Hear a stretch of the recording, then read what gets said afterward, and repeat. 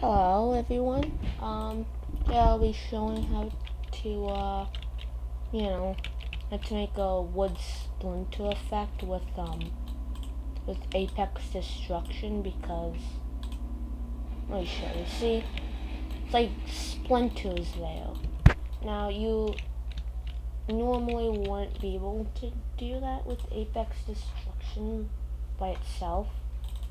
So if we look over here, all these little wood splinters, right? I fracture the mesh, it looks like stone or something.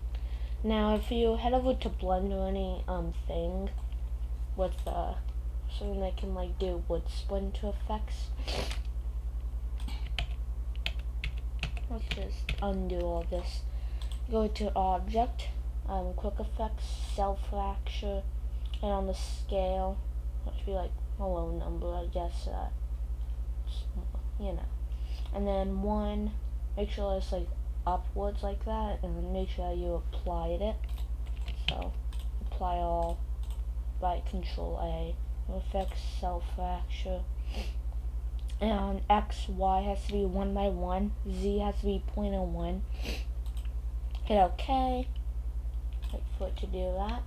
Remove the original cube by continuously clicking on it. Until you've got all this get file, export FBX. And then you want to put it anywhere you want, you know. And then go into Word or something, make sure that you can find it. Export FBX. And then over here you want to import your FBX chunks. Now make sure, ah, now make sure that your mesh here um, is straight up and down or the rotation that you have this at and then you create a destructible mesh. You go in here mess with all these parameters whatever the heck you want. You know there's a whole nother tutorial on all these parameters.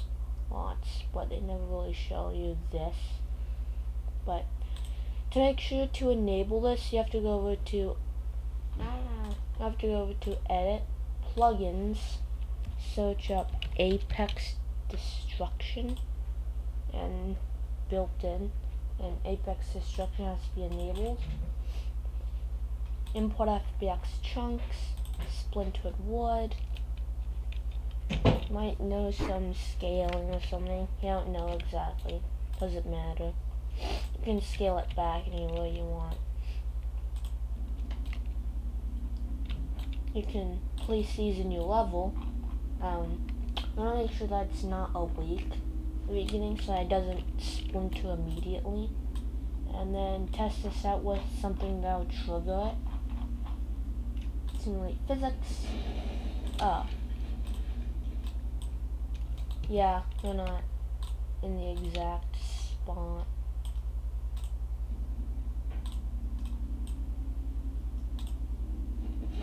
Yeah, there we go really adds a whole lot of depth to this. That's just part of the door, but uh, yeah, that's it.